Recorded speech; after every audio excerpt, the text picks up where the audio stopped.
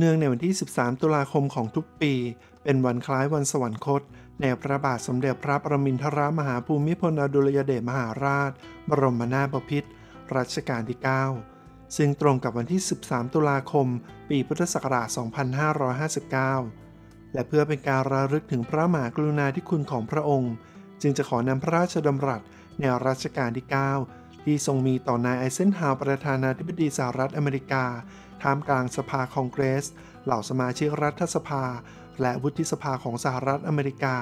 ซึ่งเป็นพระราชดำรัสที่แสดงถึงพระปรีชาความสามารถ และพระปฏิภาณไหวพริบอันดีเลิศ ในการทำให้ผู้ฟังได้เกิดความประทับใจเป็นอย่างยิ่ง จึงจะขอนำมาเสนอเป็นภาษาไทยไว้ณที่นี้ เพื่อเป็นการระลึกถึงพระมหากรุณาธิคุณปกกล้าปกกระหม่อมของพระองค์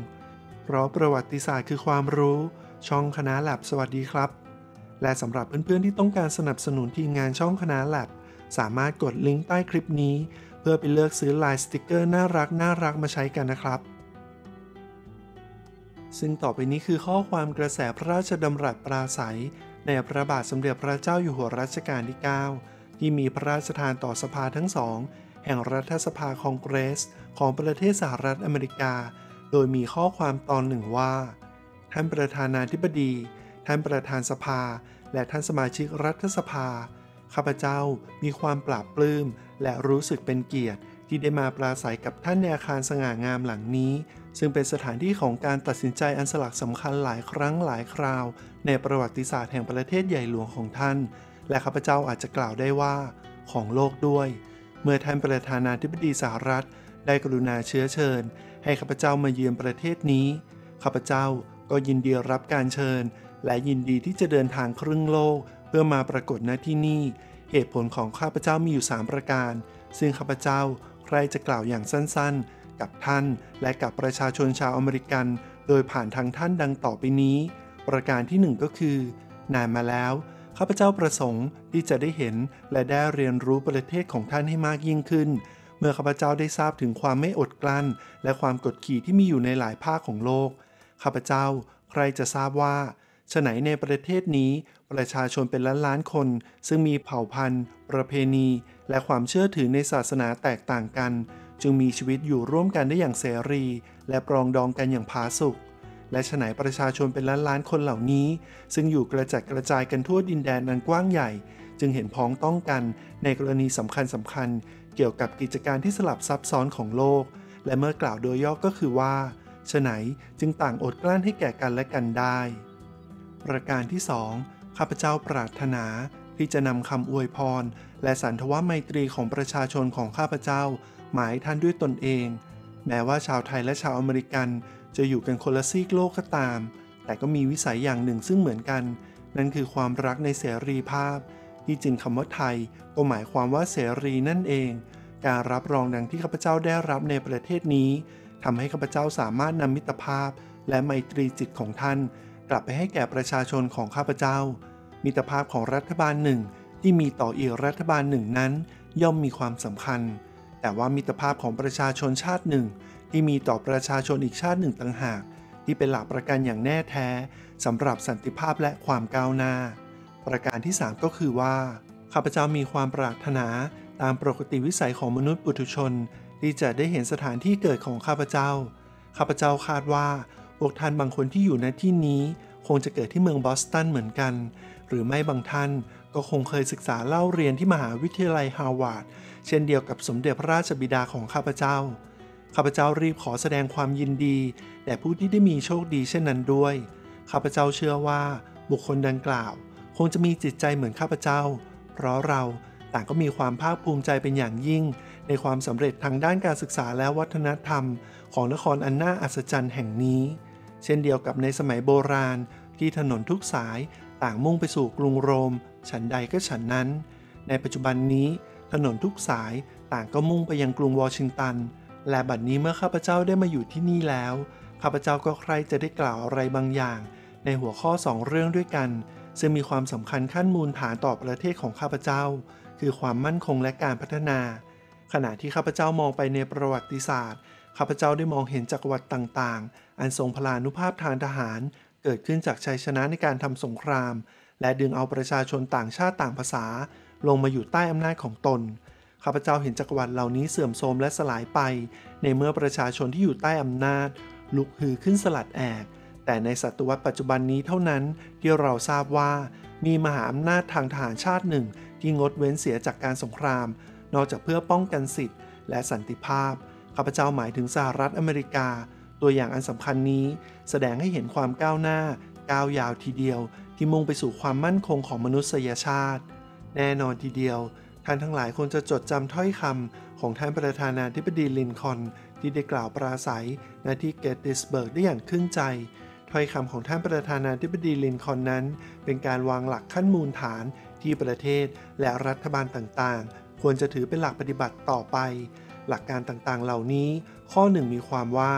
ประเทศใหม่ที่ถือกำเนิดในอิสรภาพและยึดมั่นในหลักเกณฑ์ที่ว่า มนุษย์ทุกคนเกิดมาย่อมมีความเสมอภาคเท่าเทียมกัน เพื่อให้สอดคล้องกับหลักเกณฑ์ที่ประกอบด้วยน้ำใจอันกว้างขวางนี้ ประชาชนของท่านจึงได้มอบเสรีภาพอย่างสมบูรณ์ และความเสมอภาคให้แก่ประเทศหนึ่งในเอเชียตะวันออกเฉียงใต้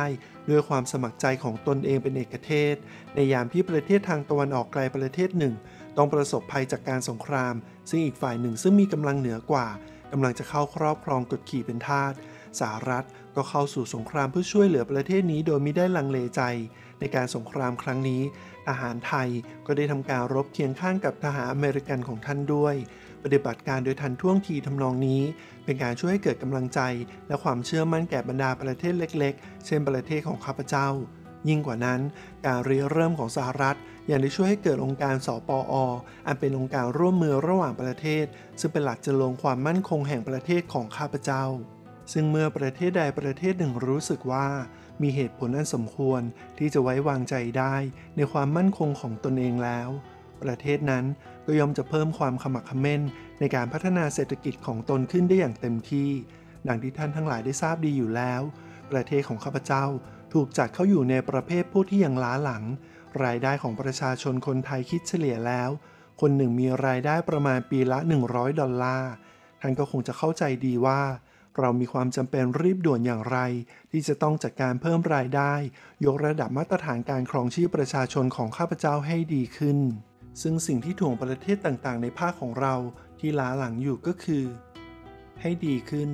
ซึ่งสิ่งที่ถ่วงประเทศต่างๆ ในภาคของเราที่ล้าหลังอยู่ ก็คือการขาดเงินทุน และความรู้ทางหลักวิชาการ ด้วยประการนี้เอง สหรัฐจึงได้มีน้ำใจเผื่อแผ่ และความช่วยเหลือแก่เรา ณ ที่นี้ข้าพเจ้าใครจะขออ้างถึงข้อตกลงการร่วมมือทางเศรษฐกิจและวิชาการ ระหว่างรัฐบาลของเราทั้งสอง บทปารบเบื้องต้นแห่งข้อตกลงนี้กล่าวว่า อิสรภาพและเอกราช ย่อมขึ้นอยู่กับภาวะทางเศรษฐกิจอันดีเป็นส่วนมาก และมีข้อความต่อไปว่า รัฐสภา แห่งสหรัฐอเมริกา ได้ตรารัฐบัญญัติขึ้น เพื่อให้สหรัฐอเมริกา สามารถจะอำนวยความช่วยเหลือ เพื่อที่รัฐบาลแห่งประเทศไทย จะได้บรรลุถึงวัตถุประสงค์ดังกล่าวแล้ว ด้วยการใช้ความภาคเพียรของตนเองเป็นเอกเทศ ในคำแถลงเบื้องต้นนั้น มีหลักการอยู่ประการหนึ่ง ที่จำเป็นจะต้องเน้นหนักนั่นคือ การช่วยเหลือของอเมริกันนั้น เป็นการช่วยให้ไทยได้บรรลุผลตามความมุ่งหมาย ด้วยความภาคเพียรของตนเองข้าพเจ้าเห็นว่าไม่จำเป็นที่จะต้องกล่าวว่า หลักการอันนี้เป็นสิ่งที่เราเห็นด้วยอย่างจริงจัง ความจริงในพระพุทธโอวาทของสมเด็จพระสัมมาสัมพุทธเจ้าของเราก็มีอยู่แล้วว่า ตนนั่นแหละเป็นที่พึ่งของตน เราขอขอบคุณในความช่วยเหลือของอเมริกา แต่เราตั้งใจไว้ว่า วันหนึ่งข้างหน้า เราจะทำกันได้เอง โดยไม่ต้องพึ่งความช่วยเหลือนี้ ซึ่งในเรื่องนี้ทำให้ข้าพเจ้าคิดไปถึงปัญหาข้อหนึ่ง ซึ่งบางท่านอาจจะสนใจ ปัญหานั้นก็คือ เราประชาชนคนไทยมีความนึกคิดอย่างไรบ้าง ในการร่วมมือของสหรัฐ ข้าพเจ้าจะพยายามชี้แจงทัศนะของข้าพเจ้าโดยย่อที่สุด ในประเทศของข้าพเจ้า มีหลักการที่ยอมรับกันแล้วอย่างกว้างขวาง ประการหนึ่งคือความผูกพันในครอบครัว สมาชิกในครอบครัวนั้น โดยความรู้สึกทั่วไป ย่อมเป็นที่เข้าใจกันว่า จะได้ให้ความช่วยเหลือแก่คนอื่นในครอบครัวเดียวกัน ในเมื่อผู้นั้นต้องการความช่วยเหลือ การให้ความช่วยเหลือย่อมเป็นคุณความดีอยู่ในตัวเองผู้ให้ก็ไม่ได้หวังที่จะได้ฟังคำสรรเสริญเยินยออยู่ทุกเมื่อเชื่อวัน อีกทั้งไม่ประสงค์การตอบแทนใด ๆ ด้วย แต่ถึงอย่างไรก็ดี ผู้รับก็ยังมีความรู้สึกในบุญคุณอยู่นั่นเอง ซึ่งเมื่อถึงเวรของเขาบ้าง เขาก็จะปฏิบัติตามข้อผูกพันนี้เช่นกัน การให้ความช่วยเหลือแก่ต่างประเทศ ด้วยความมีใจคอกว้างขวางอย่างนี้ ในสายตาของคนไทยอย่างข้าพเจ้าสหรัฐได้ให้ตามหลักการดั้งเดิมแห่งข้อผูกพันในครอบครัว ในลักษณะที่กว้างที่สุด ประเทศต่างๆ ในโลกกำลังได้รับการอบรมว่า ประเทศทั้งหลายเป็นเสมือนสมาชิกในครอบครัวใหญ่อันเดียวกัน ต่างฝ่ายต่างก็มีข้อผูกพันเกี่ยวดองกันอยู่ และต่างก็ต้องพึ่งพาอาศัยซึ่งกันและกันอย่างใกล้ชิดสนิทสนม อาจจะต้องใช้เวลานานสักหน่อย ในการเรียนรู้บทเรียนข้อนี้ แต่ทว่าถ้าหากได้เรียนรู้กันดีแล้วเมื่อใด เมื่อนั้นอนาคตแห่งสันติภาพของโลกก็คงจะแจ่มใสขึ้น บางท่านคงจะระลึกได้ว่าพระบาทสมเด็จพระจอมเกล้าเจ้าอยู่หัว พระราชปิตามหายกาของข้าพเจ้า ในระยะระหว่าง ปีพุทธศักราช 2402 ถึงปีพุทธศักราช 2404 เมื่อประมาณ 100 ปีมาแล้ว ได้ทรงมีการสื่อสารติดต่อกับท่านประธานาธิบดีบูแคนนัน ท่านประธานาธิบดีได้ส่งสาร ลงวันที่ 10 พฤษภาคม 2402 ไปถวายพร้อมด้วยหนังสือจำนวน 192 เล่ม พระบาทสมเด็จพระเจ้าอยู่หัวพระองค์นั้น ทรงพอพระราชาฤทัยในหนังสือเหล่านั้นเป็นอันมาก และในพระราชสาร ลงวันที่ 14 กุมภาพันธ์ ปีพุทธศักราช 2404 ได้ส่งแจ้งไปว่า ได้ส่งของขวัญบางอย่าง มาพระราชทานเป็นการตอบแทน แก่ประชาชนชาวอเมริกัน และได้ทรงเสนอจะพระราชทานของสิ่งหนึ่ง ซึ่งเป็นจุดเด่นในทางประวัติศาสตร์ ในยุคนั้นต้องการช้างกันมาก ทั้งในประเทศของเรา และในประเทศเพื่อนบ้านด้วย มีการส่งช้างไปให้ลังกา สุมาตรา และชวา และปล่อยเข้าป่าไปเพื่อเพาะพันธุ์และผลก็คือ เกิดมีช้างกันมากมายในประเทศเหล่านั้น ในอดีต ช้างมีประโยชน์มากมายหลายอย่าง เป็นต้นว่าทางด้านเศรษฐกิจก็ใช้ในอุตสาหกรรมป่าไม้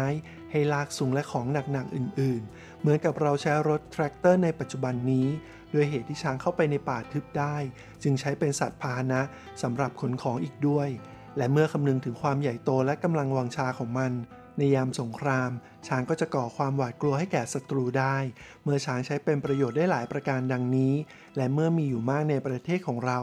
พระราชปิตามหายกาของข้าพเจ้า ก็ได้ส่งเสนอที่จะส่งมันมาพระราชทาน แก่ประธานาธิบดี และรัฐสภาคองเกรส เพื่อให้เอาช้างไปปล่อยในที่ที่ไม่ได้มีการเพาะปลูกของอเมริกาสำหรับใช้เพาะพันธุ์ช้างสืบไปทั้งนี้เป็นการแสดงมิตรภาพของพระองค์ ที่ทรงมีต่อประชาชนผู้มีไมตรีต่อกัน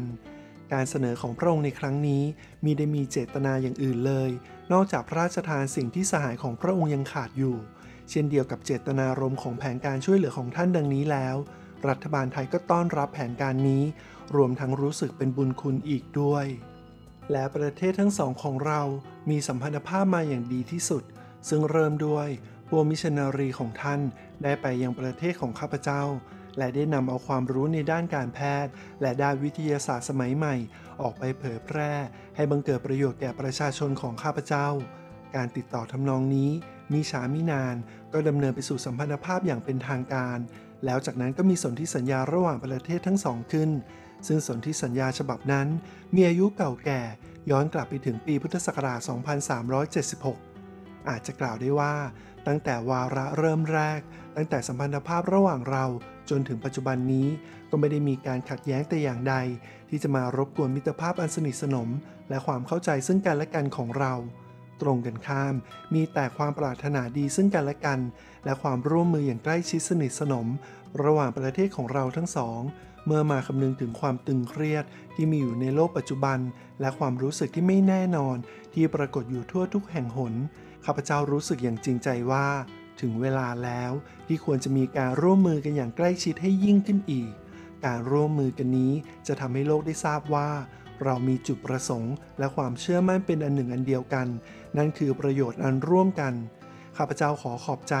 ในความกรุณาของท่าน ที่อุตส่าห์ตั้งใจฟังข้าพเจ้ามาจนจบ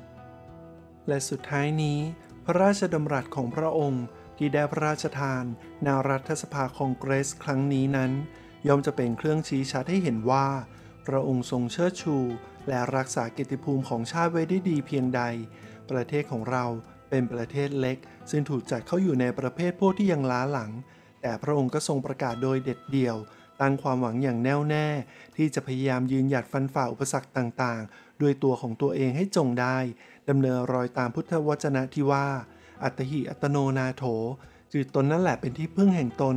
ความช่วยเหลือที่สหรัฐอเมริกาและมิตรประเทศ ได้ช่วยเหลือเกื้อกูลชาติไทยเรา เป็นเครื่องแสดงถึงมิตรแท้ ที่มีน้ำใจเอื้ออารี ไมตรีจิตเยี่ยงมิตรที่ดีทั้งหลายพึงปฏิบัติต่อกัน